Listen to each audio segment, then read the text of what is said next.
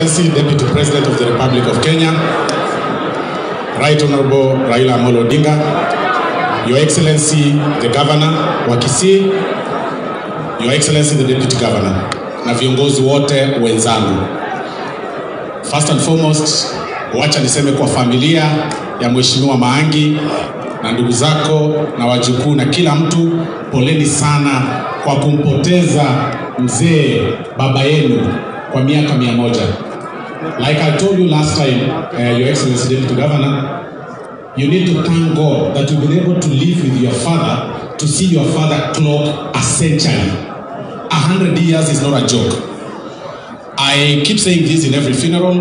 I was not lucky to see my father before I even clocked the age of 10. So this is a miracle na nikiangalia hivi I join you in celebration of the life of your father for this great milestone. I've also gone through the history of your father. Baba yako alikuwa anauza eh, umbwa. He was a dog seller. Na akahaso namna hiyo, akahaso namna hiyo, akahaso namna hiyo, Akahaso baadaye akakusomesha, ukatoka na wenzako wote. Sasa hivi wewe ni deputy governor of uh, Kisii County. Now, sasa kwa sababu tumepewa dakika tu moja tuzungumze, ni vizuri hata mimi nipe, nipeane neno moja hapa, kwa sababu leo I am lucky to stand before His Excellency the Deputy President and Right Honorable Raila Amolo Odinga. Now that nimekuwa lucky kusimama katikati mbele yenu, mimi mniruhusu niseme hii, na mimi nitazungumza tu namna hiyo, niseme mimi ninasema na hii, namna hii na nitaanzia right honorable. It is actually not in my place to advise the right honorable prime minister. It is not in my place. But as a politician hata mimi ninaangalia. Your excellency deputy president nimekuangalia safari yako umesimama na mheshimiwa uhuru kenyatta kutoka 2002 mpaka wakati huu. Umesimama na yeye 2013 na umesimama na yeye 2017 leo ni vizuri nizungumze hii niseme namna hii wakati huu umerukwa sasa, baba ndiye anatembea kule, na mimi ninasema namna hii, naambia His Excellency Right Honorable Prime Minister, ile mchezo imechezwa na Deputy President itachezwa na wewe baada ya hii BBI. Usipochunga vizuri, ile mchezo imechezwa kule, wewe tutatumika tupitishe BBI na aitusaidie hapa Nyanza.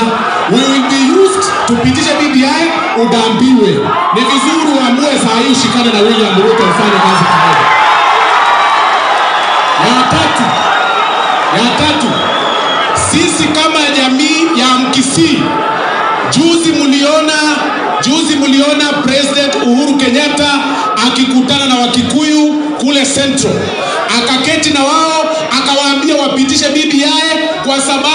wamepata 40 constituencies. What are you going to tell us to pass BBI for hapa Kisii County? What are you going to tell us? Co- Constituency ya Bobasi ni kubwa sana. It needs to be divided.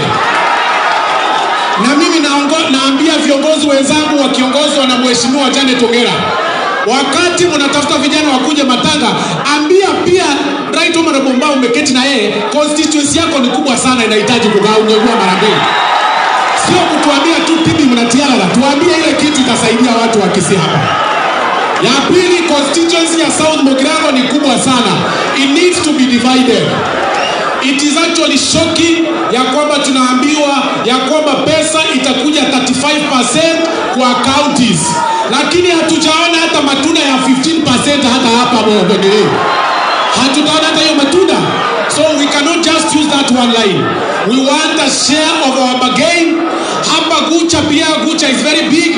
It is not practical that Tarakanidi County has got three constituencies and Kisii County has got nine constituencies. It is not practical. It is not.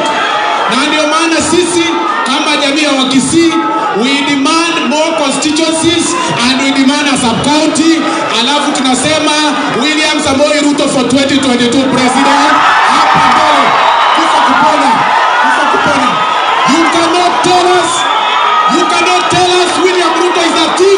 when you used William Ruto in 2007, you cannot tell us William Ruto is bad when you used him for Pentagon. Ali, alikuwa mwizi siku gani? Hatuwezi